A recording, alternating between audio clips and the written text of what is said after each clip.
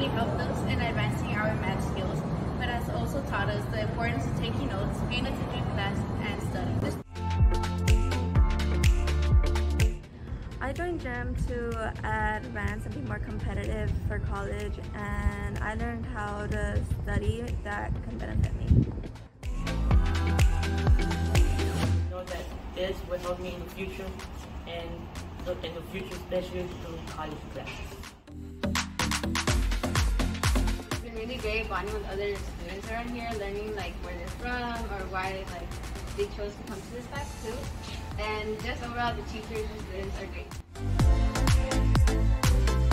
was a great opportunity for me to um, go to, to advance into something else and to do something that would help me in the future. Um, and so far it's been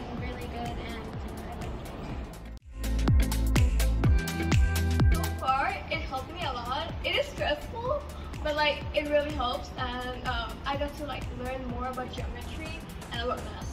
It's been really good and as how she said, um, it's been also kind of stressful, but like, yeah, it's also been really fun as well. Yeah. We also got to meet new people, so which is cool. Uh-huh. Like from different schools, so like yeah, it's fun. Yeah. JEM actually helped me propel my learning, increase my education, and the most valuable lesson I learned was that you take opportunities while you have the chance, because JEM helped me further my education over the summer while I had nothing else to do.